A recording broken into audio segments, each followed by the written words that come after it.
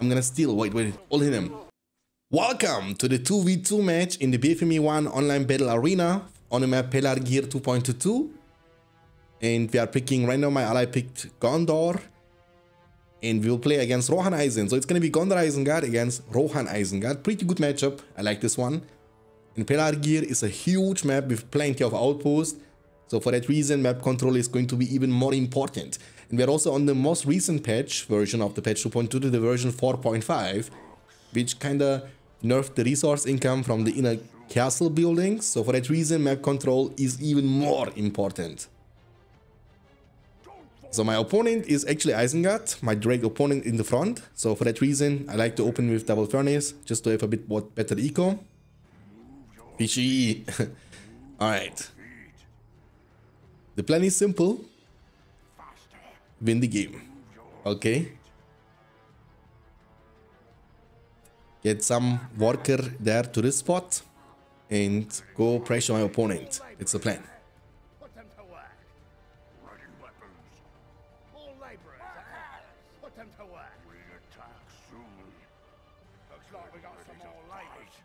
Oh, he was not taking this one?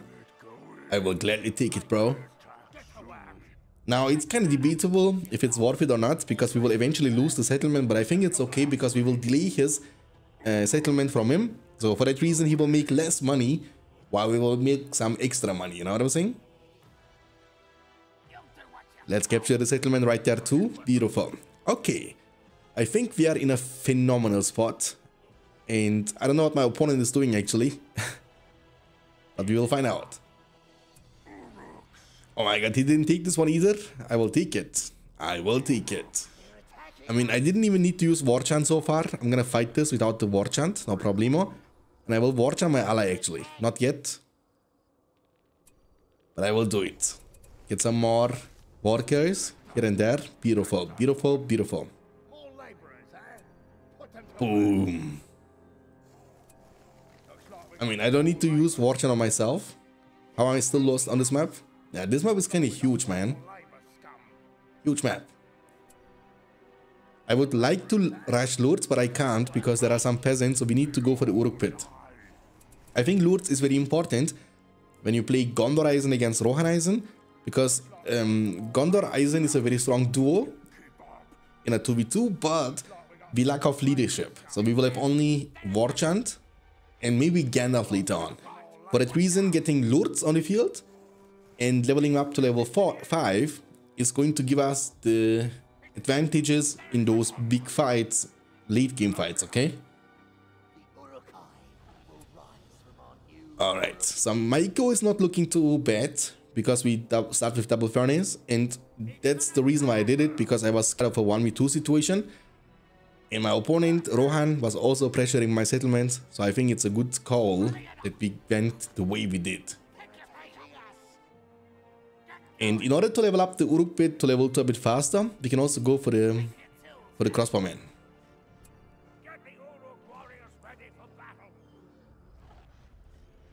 So the way the Uruk pit is designed is you need to get, oh my god, I can't, there are too many workers repairing. You need to get in total 1000 worth of resources units. And this can be 5 Uruks, or you can go for 2 crossbowmen and 1 Uruk. You can go for 3 Uruks and 1 crossbowman. It doesn't matter what you do.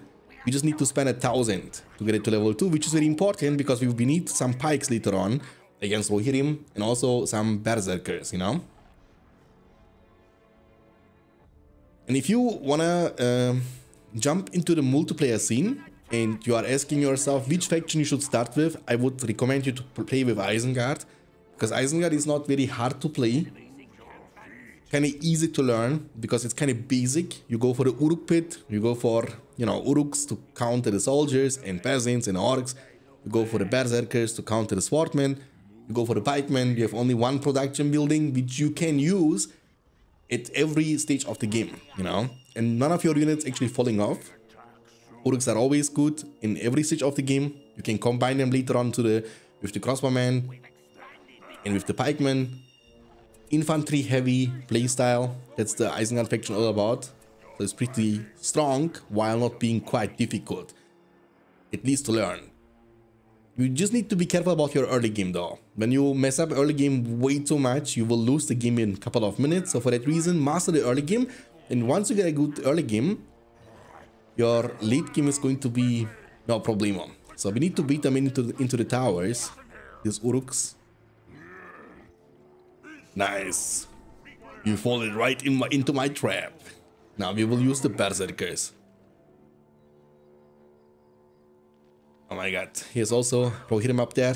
So we need some pikemen ASAP. But I want to go for Lurtz first actually.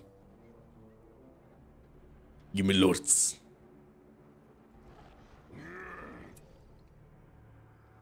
Don't let them get away to your places. Nice. Okay, we go for the Lurtz. Beautiful. And now we will need some pikemen to counter the Rohirrim. And I'm not using Warchant for myself for, now. you know, I don't need it actually. So I can keep buffing my ally all the time. That's that's what the 2v2 is all about, you know? Having the team synergy, sporting your ally, receiving support from your ally. And ally has to carry you. Because you can't really win 1v2 matchup. That's not possible. At some point of the game, he will need to support you. Okay, this is going to be quite helpful, you know, the industry. So I want to take over the map now. There are, again, like mentioned at the beginning of the game, there are plenty of outposts on this map here, and we need to control them as soon as possible.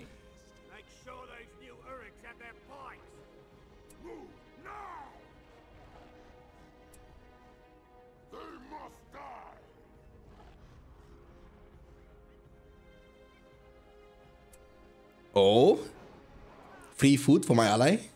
Trample them. Berserkers coming, but no problemo. We have a Lurtz up on the field. My Lurtz, again, the main goal is to reach level 3 first to unlock the Carnage, which makes them to a very dangerous hero against any other hero. And, you know, especially early game heroes, like, think about it. What can Rohan recruit at the beginning of the game? It might be Eomer, Theoden, or Eowyn. That's the three possible heroes, you know, can go for. And they, they will all die, you know. My ally is doing actually a good job pressuring my opponent with the war chant. I like it. I like it. That's gonna give me some more time to take over the map, okay? That's the plan. Outpost time.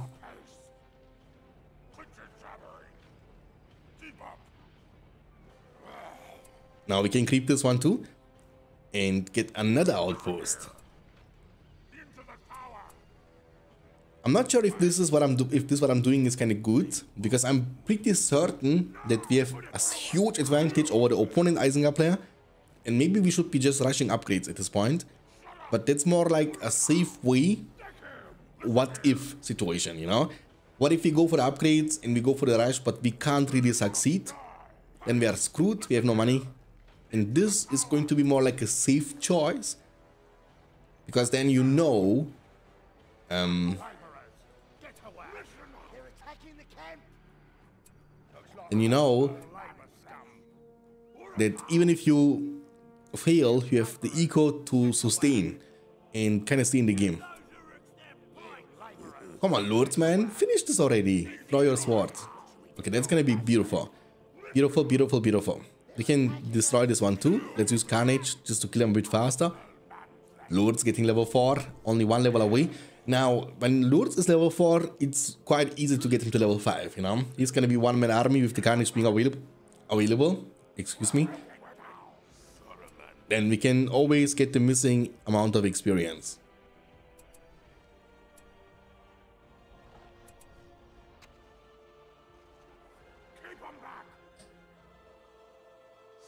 Keep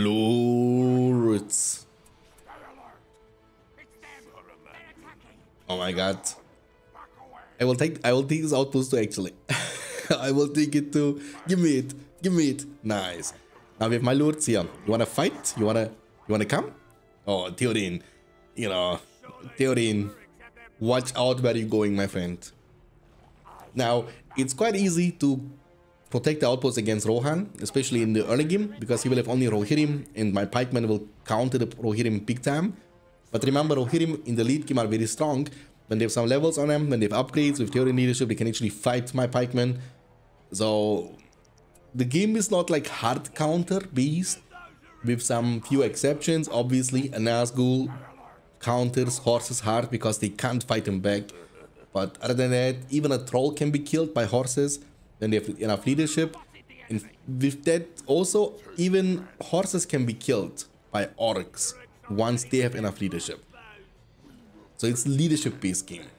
Even though there is still a counter system, so basically in a one-on-one situation in equal circumstances, pikemen will always win against horses. But for example, an upgrade unupgraded pikeman against full upgraded level 10 horses will not win, you know. We need to beat him in, use the crossbowman. And now we have like crazy map control. I'm gonna use War Chant and Palantir. Chase him. Run him down. I think I didn't use a single time Warchant on myself. We can fight this, no problemo. This pikeman, this combo is no upgrades. So we should be easily able to win this. My Lord is kind of lurking around. Um, the thing is, even if I cripple his Lurtz, he will just cripple me back and I won't be able to kill him with my carnage, you know? I wanna go for armory here and build furnace here again. Beautiful. Let's kill this pikeman. Uh-oh, you wanna fight? Oh, nice, nice maneuver actually. I was almost running it down into my pikeman. Put him into the tower. Map control. Oh, okay. What a timing, man. I'm gonna bring my Lurtz here. Hold on a second. Maybe I can cripple him. Event. I'm gonna cancel this. Theoden King stands alone. you shall not move. I'm coming for you, Theoden. Carnage. Let it be carnage. Boom, boom. Lurtz is just like MVP now. He's the main reason why Isengard doesn't need a third hero. Because he's like two heroes in ones. In one. Like think about Gimli. Gimli is a very tanky hero, yes. He has a range ability, he can leap, he has area of effect damage, he has uh, crazy speed, and with level 5 he's going to be one of the strongest heroes in the game, but he has no leadership. Now, Lurtz has, has it all, you know? Leadership, strong, fighter, tanky, cripple.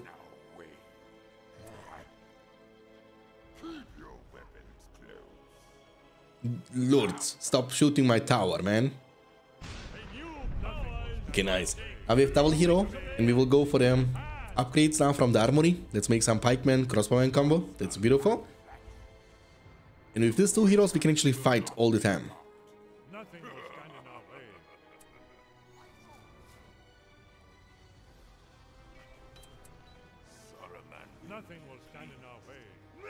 We have so many outposts. Holy, okay. I mean, Saruman, if you stay there, you are dead, boy. If you stay there, you will be dead.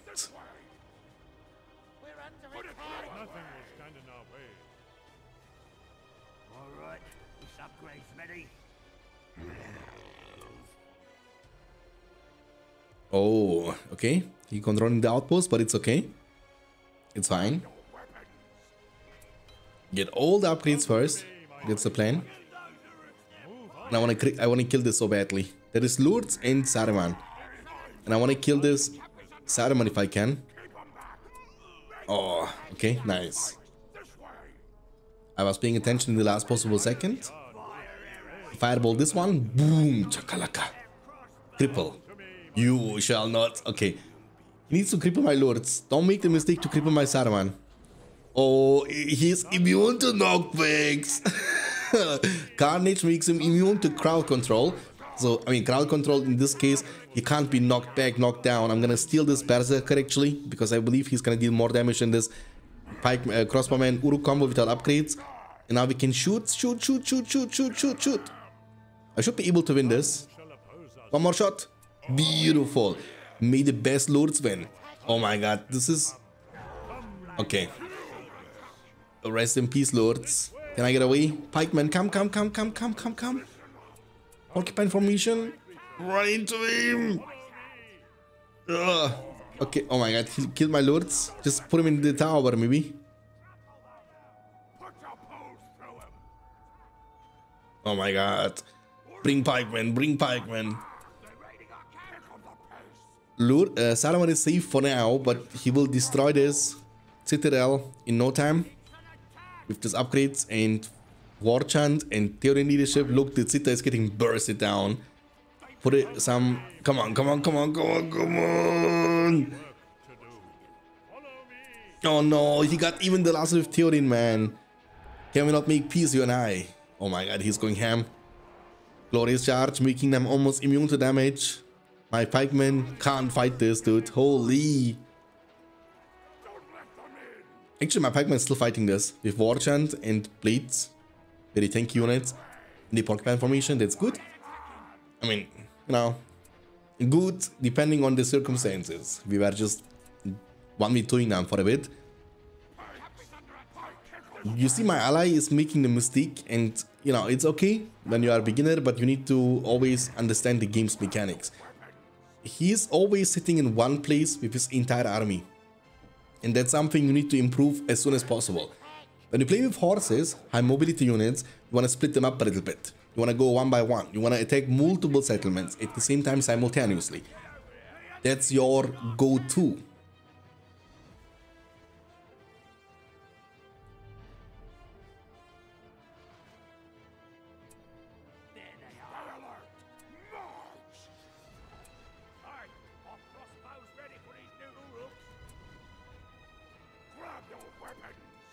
Oh my god.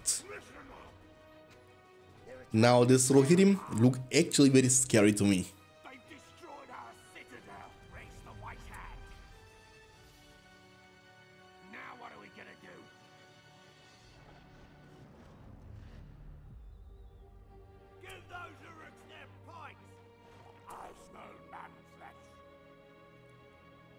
Beautiful. Okay, now at least we are not poor. I mean, we are not very rich either because we need to revive our Lurtz and Saruman. But once they are ready to go, I will move. Aim Theorin with the towers, always. The second, oh my god, I didn't demolish in time.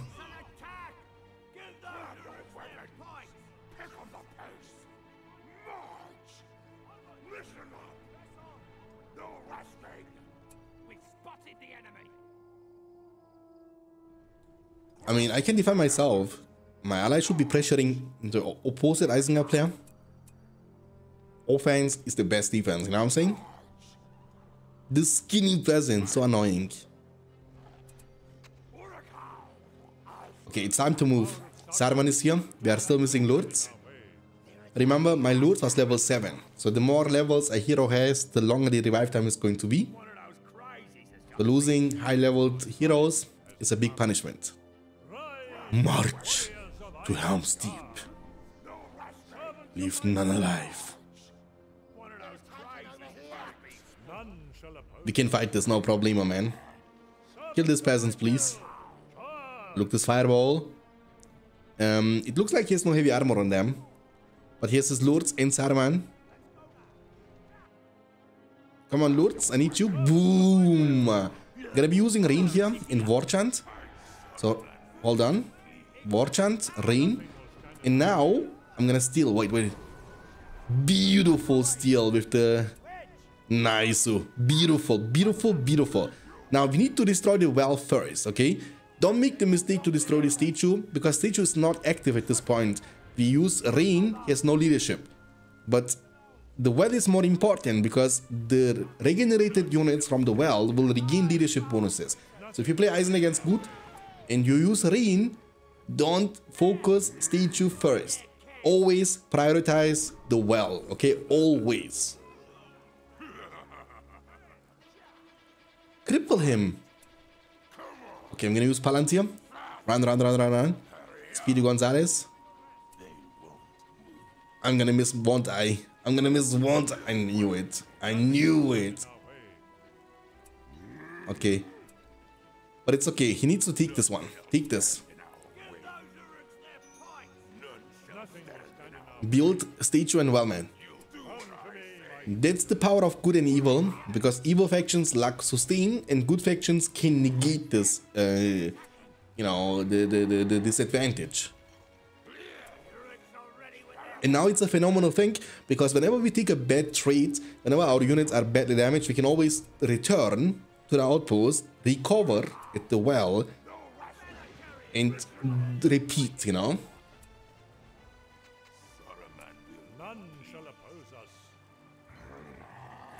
Outpost time. I want to actually build uh, siege works at the outpost here. My warden is not available yet, but I will just destroy a bit and then disengage whenever I need, I need to. Level up. More levels, always better. Siege works, furnace, furnace. Level 3 furnace is gonna hurt him a lot. And whenever the, this gonna become tricky, we can always return. I mean, disengage, you know?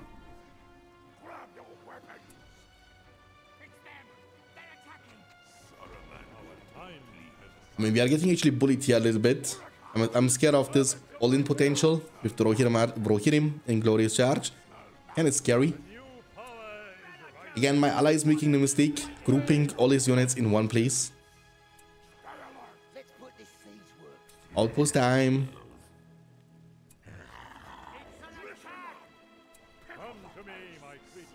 I mean, that's a mistake from them. But they used the rain, that's why he wanted to engage. Now, here is the thing. The Glorious Charge can kill the crossbowmen of my of my combos, but my pikemen are immune to trample. So they can't be knocked down. For that reason, they won't take damage from the trample. And at the well, we need double well, by the way. We need double well, because one well is not enough, man. At the well, they can recover, you know? Go for some siege. You know, while we're pushing the Isengard piece, let's ram... Oh my god. let's ram the Rohan base.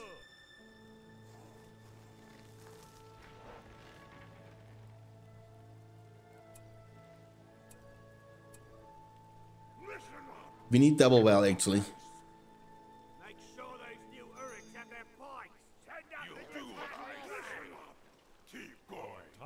Well is a big counter to the rain too. And now he's he used his rain and we should be kind of punishing him now. Okay?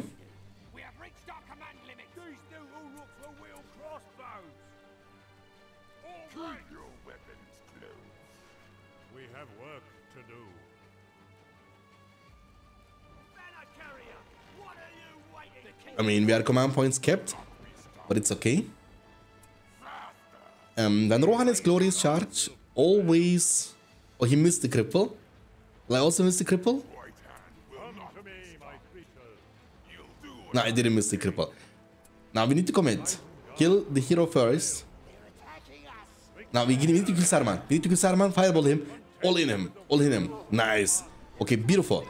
Always all in Saruman because he has the ability to change the outcome of the game with his steel. We will use the will of Saruman. We will keep going now.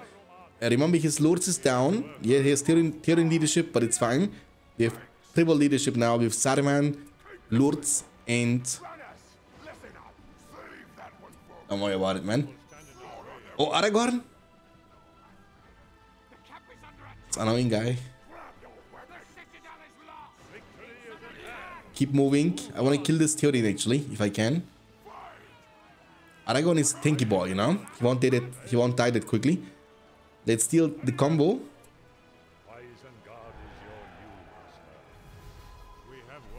Oh, we only stole the combo, not the horse. We will need to blast this combo here.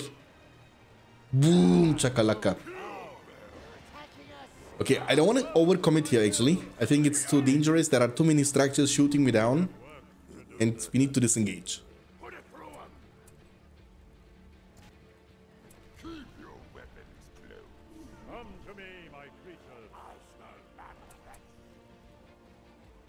Patience, my young Padawan. Patience. Okay. Luckily we have double well, right? Faramir, don't hurt yourself. And we can... Oh my god, shoot this wall already, bro. Come on.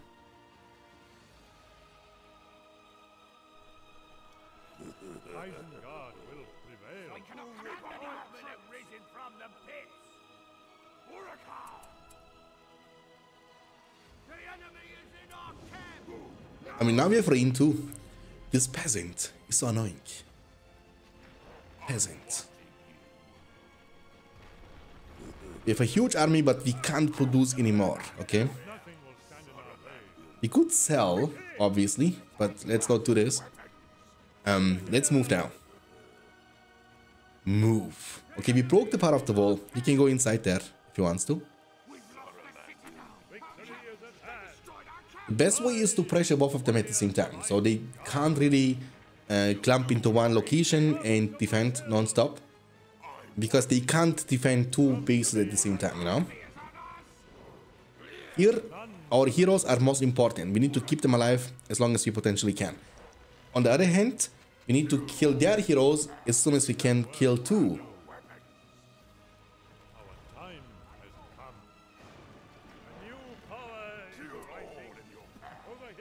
Always hero focus. Rain. Focus, focus, focus, focus, focus, focus, focus. Focus, focus, focus, focus, focus, focus. Nice. Okay, he couldn't steal anybody. My my steal is on cooldown, but I want to blast this so badly. Uh, be careful though. I don't want to go too close. Now we need to kill Aragorn. Aragorn is a tanky boy, but we have 110% damage leadership. He will get he will get crippled. Now we can go for a juicy blast here with the Saruman. Kill Legolas. Hero focus first. Legolas is not that tanky. He will die in a second. Yeah, GG is calling it. I know. We have also um, Balrog. Balrog of Morgoth. I mean, we kinda losing this fight a little bit. Mara is pressuring the outpost. Go for Rams. Oh, no, no, no, no, no, no. Saruman, no, please don't die. Okay, nice. He's safe. He's safe. He's saying it's embarrassing. What's embarrassing? What did you call embarrassing? The Balrog of Morgoth? I hope not, man. Balrog got a buff, by the way, guys. Okay, now we will see the buff of Balrog in action. The Balrog buff is to his whip. So his whip now is also being useful against structures. It deals 1500 damage. With this whip now you can finish off the level 3 production buildings, so breath fire and whip, or you can just go for weak production, weak buildings like the well, for example. Look, well is only, I believe, like 2000 health, and it's kind of vulnerable against fire. So my basically and theoretically my, my whip should be one-shotting the well. Pew! Yes. Okay, now with the next breath fire, we should be able to finish off the beats, okay?